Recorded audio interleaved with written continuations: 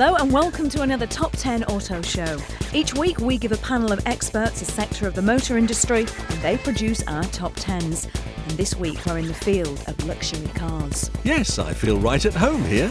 You? Why, yes. In the world we celebs occupy, it's vitally important to give the right impression. Ah, so that would be why you turned up for work today in a Reliant Robin wearing a Christmas sweater. Ginny, Ginny, you have to move with the times. Right now, it's cool to be uncool. Hmm, that would explain most of those boy bands then. There you go. And without further ado, let's dip our toes into the deep pile carpets and leather clad luxury that is this week's Top 10.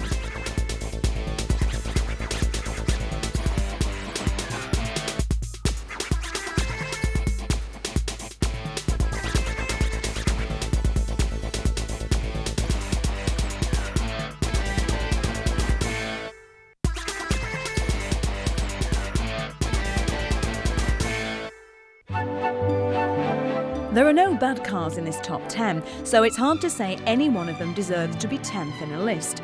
Rules are rules though, and our panel's number 10 is the Jaguar XJ8 Saloon.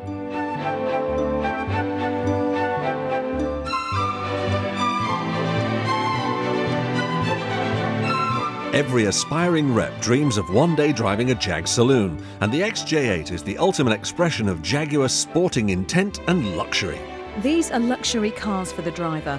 Rear space is somewhat cramped for the class, a reflection on the dated platform the big Jags ride on. Up front, however, is an environment for the sporting executive, a sports saloon in the old style.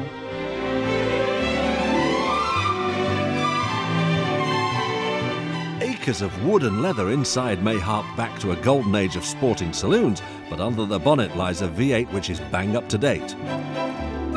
In 3.2 and 4 litre guises, the sound and performance generated suits the Jaguar's personality well. The ride and handling follows Jaguar's formidable formula of comfort and pace.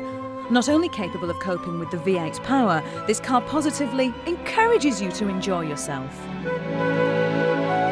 Although better than in times past, you do not buy the XJ8 because build quality is as good as a Mercedes S-Class. The Jaguar offers a much more personal experience. Wood and leather give the British car more soul. Yet there can be no denying that it has less interior room than most of the rivals here, and is therefore starting to look its age. All the above marking it down to a lowly 10th slot.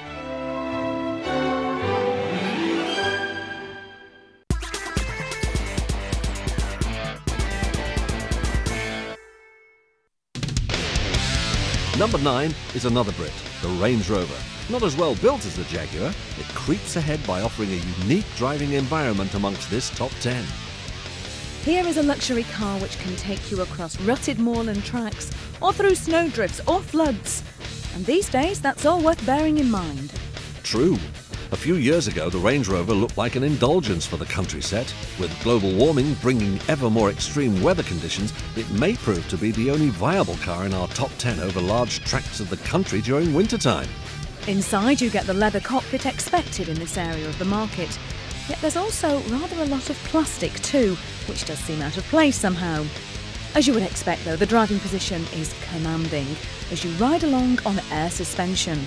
This is clever stuff. The Range Rover will lower itself graciously on its air springs to allow easier access. Stray too far into the unpleasant off-roady stuff and the car jacks itself up for you without having to resort to having serfs dig you out.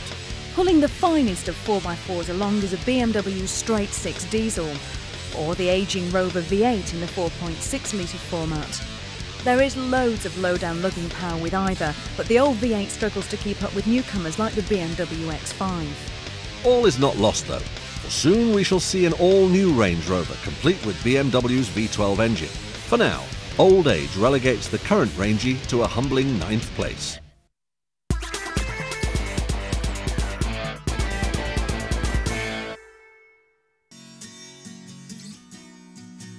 In this sector, the badge means everything. This is why you'd never take a luxury car from Daewoo seriously. Would you? Well, imagine creating a whole new brand from nothing in order to take on the big European players. Then have the audacity to build it in Japan, and you end up with the forerunner of this, the LS420 from Lexus. The LS400, which launched the Lexus division of Toyota, rocked the motoring world. Here was build quality to match the best from Germany. Similar levels of luxury and an engine you could not hear at Tickover, and you have a recipe for success. In the badge snob society of Europe, the impact was not so severe, but in the United States, which is the biggest market for luxury cars, they're more interested in what they get than who makes it. There, the impressive equipment levels combined with an incredibly low price drew many customers away from the likes of Mercedes. The hardest job for Lexus after having made this huge impact was to be replacing that impressive car. And the result is this the LS420.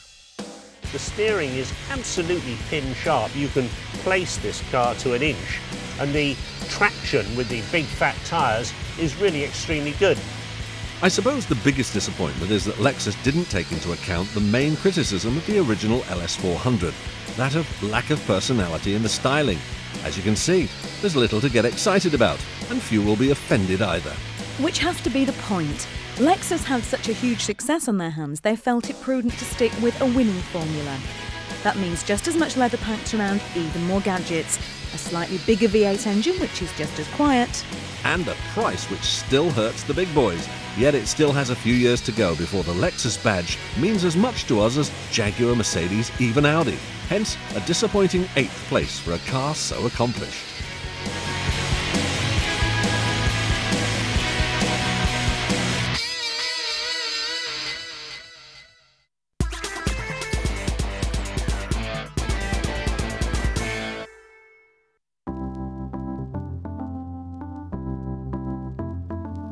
Number 7 is from The Establishment. The BMW 7 Series has enjoyed a starring role in a James Bond film and takes the fight straight to the Mercedes door. Yet, however, it still feels like the pretender to the crown. BMW must be wondering quite what they have to do here. Their 3 and 5 Series models are established as class leaders, yet the 7 has never quite hit that high spot. In size, it's right there with the best of them. In engines, even the lowliest six cylinder model has a classic power plant in its own right. The interior has all the leather and the gizmos you could ever ask for. And that BMW badge isn't a handicap either. You join me in the uh, pampered world of the luxury car. As you can see, we've got uh, all of the usual things you'd expect. Lots of leather, lots of wood, dashboard full of high technology. So let's get to the basics. BMW are a sporting brand. Every model they produce has a sporting slant on whatever it's asked to do. Yet in the luxury arena, the executives want to luxuriate in the back, not be thrown around down a twisted country road. Of course, the 7 Series can pamper like the best of them, especially in the V12 guise, yet the mental image is there. Just as with Jaguar, BMs are seen as sporting saloons rather than the ultimate expression of luxury. On the road, the 7 Series has the air of a cross-continental executive about it. If you need to rush from Stuttgart to Berlin quickly in the maximum comfort, this is the car to do it in. The ride may not be quite as cosseting as some rivals here, but if you need to press on, this car remains composed. As we said earlier, there are no bad cars here, but the 7 Series fails to dominate its class the way other BMW products do.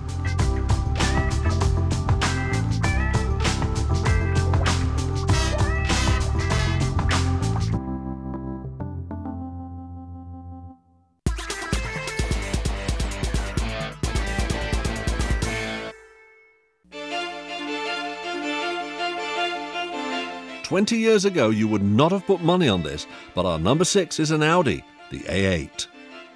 Swallowed up by the Volkswagen Group in the 70s, it seemed for a while that the Audi name was struggling for an identity. Then in 1980 came the Quattro, the pursuit of technology, and the rest is history. Taking on the mantle within VW as the technically advanced luxury brand, Audi needed a worthy flagship. This, the A8, fits the bill beautifully and has recently gained a new W12 engine to crown its other achievements. Although outwardly it may look well designed but pretty conventional, it is bristling with innovations. The bodywork is aluminium, resting on an aluminium space frame. It boasts four-wheel drive, as well as a W12 engine in the range topper. The other engines aren't bad either. A V8 in either 3.6 or 4.2 litre, or the V6 from the A6. There's an impressive diesel option too. It's no lighter than most rivals thanks to all the kit installed, but it is the aluminium which makes sure that there is no weight penalty for the four-wheel drive. So as far as performance is concerned, then this car is more than impressive. Throw in the added glamour and security of the four-wheel drive, and there is a recipe for success.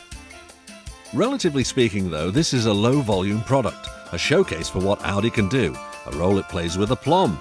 A serious rival to the Mercedes S Class, though. Here, Audi have a similar problem to BMW and Lexus. Whereas Mercedes have been associated with luxury for as long as there have been cars, the likes of Audi have made a relatively recent push for those dizzy heights.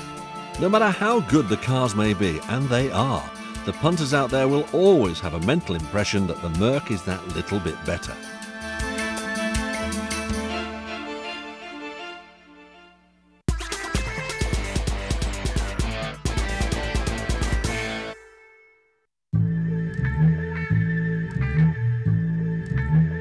And number five is the all conquering hero from Mercedes, the S Class. Is it really the best amongst its contemporaries, though? Well, let's look at the gizmos. The Audi and Lexus both run it close on this score with a fistful of innovations between them. Then you look at the Mercedes toys. For example, there's the Distronic system. Using a radar unit in the grille area and the car's cruise control, the S Class can make sure you never stray too close to the car in front, even in fog, so long as the system's switched on. Engines then. Anything BMW can do? The range is topped by a V12 and starts with an impressively smooth V6. Luxury is on par with the majority, even if it falls short of the Jaguar's gentleman's club atmosphere. Build quality has always been a Mercedes stronghold. Here, the Audi matches it. Yet, Mercedes knows ahead because their long term after sales service runs to the likes of, for instance, being able to replace a seat cover for a 25 year old car. All you need is the chassis number, and it gets dispatched from Germany the same day. I know what you're thinking. If the Mercedes is so good, why is it as low as number 5? Well, the truth is that the S Class is probably the best built car in the world. Precision engineering combines with attention to detail second to none. But it has no soul. Inside there are acres of plastic, the best quality plastic you'll ever see, and mixed in with plenty of leather, but it doesn't make you smile like the Jaguar. It is the best built mass production line car in the world, with the best build quality, and arguably the best reliability, although Lexus may argue with that one. But, and this is a big but, absolute luxury is handmade.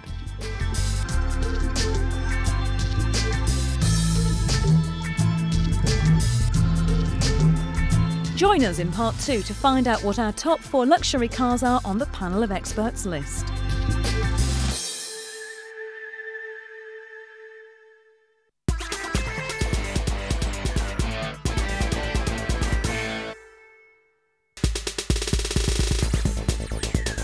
Welcome back to the top 10 luxury cars. So far, we've looked at the best luxury cars from the mass producers. Now we're heading into the realms of the hand built luxury carriage and a strange paradox.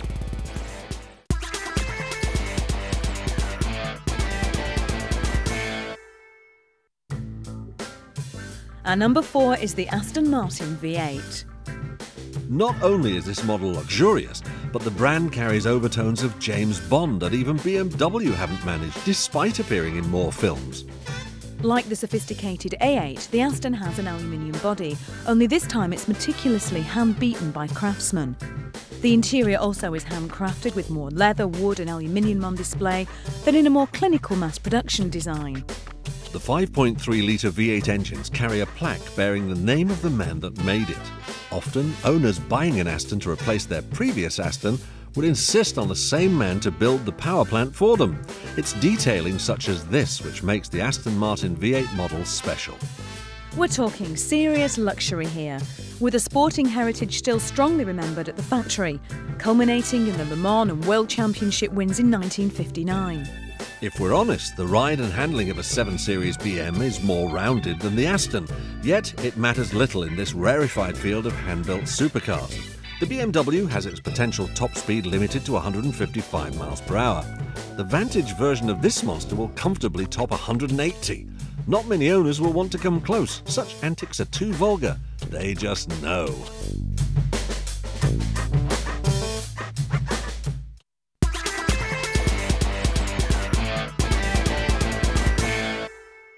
Think of the ultimate rich man's toy, the ultimate statement of luxury. And what do you come up with? Why, a Rolls Royce, of course. And our number three is their latest saloon, the Silver Seraph. Launched nearly three years ago, the Seraph met with a little initial resistance from the owners. Out went the old 6.7 litre V8 to be replaced by a 5.4 litre V12 from BMW. The engine out front barely whispers as it launches two tons of machinery forward. All this bodywork is supported by a sophisticated air suspension system. It may not handle as well as the efficient Mercedes S Class, but that's not the point. All that weight has another eerie effect too. Bumps and potholes are ironed out from beneath you as though they never existed. That, ladies and gentlemen, is the point of a Rolls Royce. If there was controversy over the power unit used, that was to be nothing to the events that followed shortly after the new saloon hit the showrooms. Then owners Vickers decided to sell off Rolls Royce and Bentley. BMW bought the name for a whopping sum, leaving VW with the cars but no right to stick the badge on them. A compromise was drawn out. BMW got Rolls Royce and VW got Bentley as well as the Crewe factory.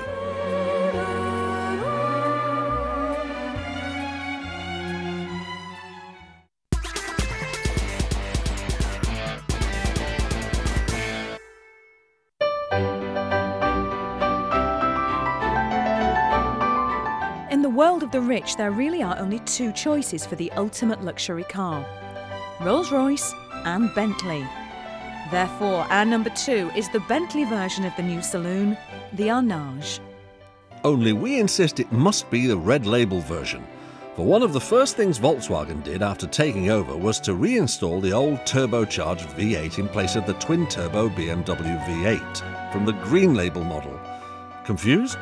You will be.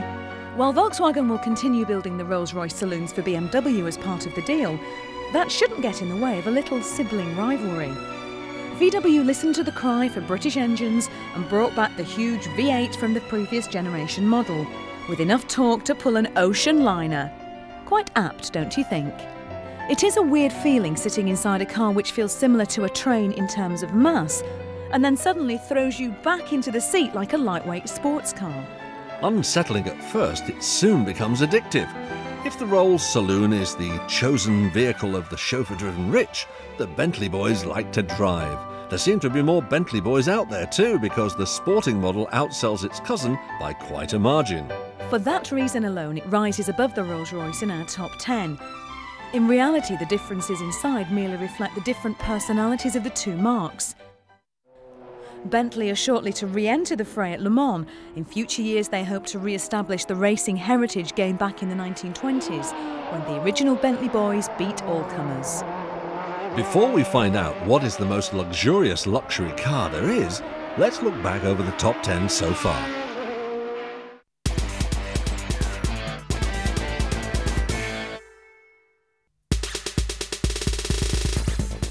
10, the Gentleman's Club interior and charm of the Jaguar XJ8 are not enough to stop it looking its age now.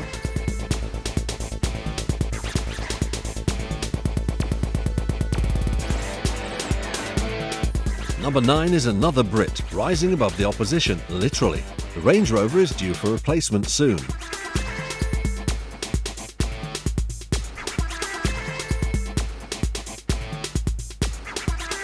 Number 8 replaces the upstart from Japan, which shook the aristocracy from Europe from their slumber, the Lexus LS420. Number 7 is the 7. That is the 7 Series from BMW.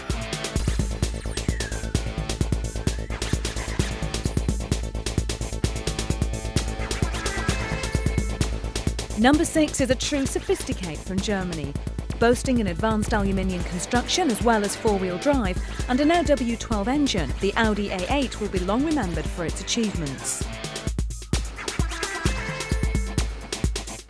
Number 5 is the benchmark for mass production cars. The Mercedes outsells all the opposition in this top 10 worldwide, yet feels too clinical to rule as the ultimate luxury car on the planet.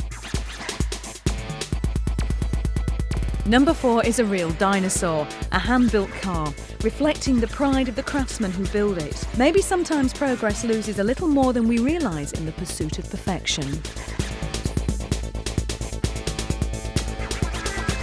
The same could be said of our number three if you listen to the traditionalists. That would do the Rolls-Royce Silver Seraph an injustice. The engines may be from a more modern era, but there can be no denying its superiority to the model it replaces.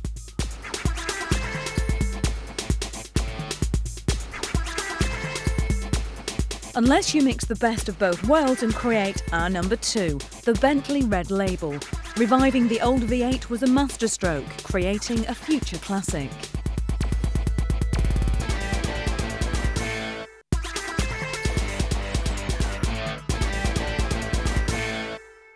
A car that will be remembered in history for several reasons. It's the last new Rolls-Royce model to be produced at the Crewe factory, and the last to use the old V8 engine. It also revives a classic name, the Corniche. The name itself reflects the right kind of image. Some might argue that Volkswagen is cynically cashing in on the name and the opportunity before BMW take control of Rolls-Royce in 2003. But the world would have been a poorer place without it. Sitting inside in shoes really isn't the dumb thing. Much better to let your feet sink into the wool below. The seats massage you, while the aromatherapy you can only get from Connolly leather complements the effect. The men and women who produce the leather upholstery can trace their trade back to the stagecoaches. The beautiful wood which graces the cabin uses the same techniques as cabinet makers in the days of Chippendale. It may not be politically correct, we should be proud that the only place this combination of beauty and craft could be made is Great Britain.